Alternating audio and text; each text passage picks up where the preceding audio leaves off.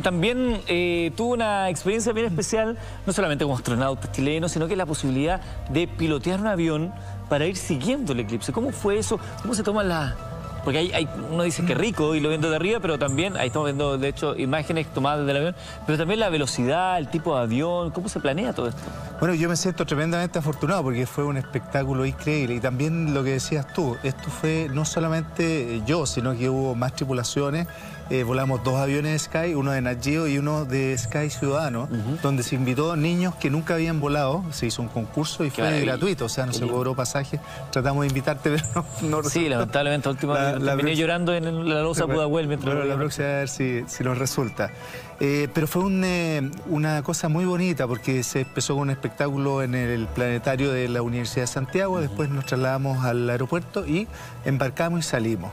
Éramos dos aviones, estábamos separados por mil pies, que son como 300 metros de altura, volamos hacia el sector eh, oeste, o sea, hacia el mar, pero teníamos una planificación que es muy precisa. El eclipse parte a cierta hora, por lo tanto teníamos que cruzar un punto específico exactamente a las 4 de la tarde con 39 minutos y 15 segundos. Yo le saqué una foto. Así de específico. Así de específico. Llegamos exactamente, ni siquiera con un segundo de error. Eh, bueno, salimos, volviendo un poco, salimos hacia el oeste, viramos eh, hacia el noreste como para dejar el sol al costado izquierdo.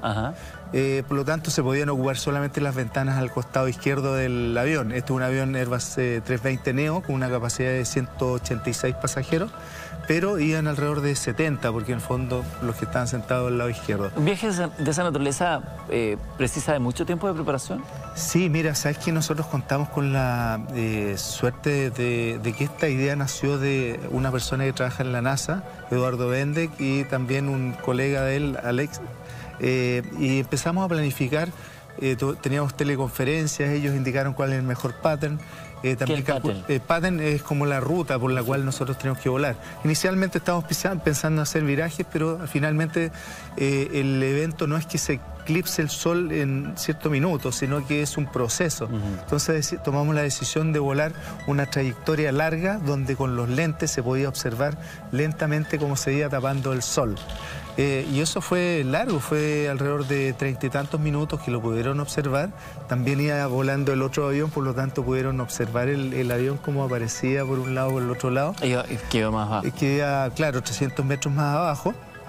Eh, y finalmente, eh, cuando estábamos en el momento del eclipse, se nos iba acercando la umbra. Es como interceptar algo que era rapidísimo. Yo de repente he dicho como tres veces más rápido que un misil. ¿A qué velocidad va la sombra esta? La sombra va, eh, por lo que a mí me dijeron, 10.000 kilómetros por hora. Entonces imagínate... Ah, tú en forma perpendicular tienes que interceptar algo que va a 10.000 kilómetros por hora. Entonces, ese, además es un desafío, porque el fondo, si es que no le achuntamos al momento adecuado... Claro, se pierde todo. El... ¿Quiénes iban en el avión? En el avión, bueno, iba María, eh, eh, ¿cómo se llama? La... María Teresa Ruiz. María, Teresa Ruiz, eh, Galás, iba gente de, la NASA, obviamente que iba todo el equipo y los invitados de Nat Geo eh, que hicieron un registro espectacular, eh, me imagino yo. Eh, vi, digamos, cómo pusieron cámaras en todas partes del avión. un documental con eso. Claro, teníamos cámaras en, la cabina también, que es el mejor lugar para observar el, evento.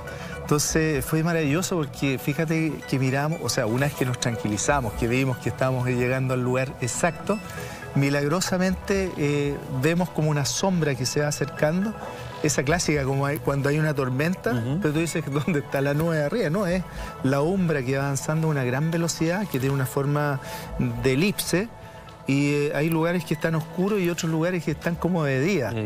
Y, de repente se oscurece completamente el, eh, avión, bueno, lo que ustedes vieron en, La Serena también, eh, y se ve esta, esta corona alrededor del sol eh, pero nosotros en la cabina también tenemos esa amplitud de, vista donde podíamos ver hacia la derecha o lugares donde no está oscuro. Donde funcionaba la cosa normal. Donde, estaba normal.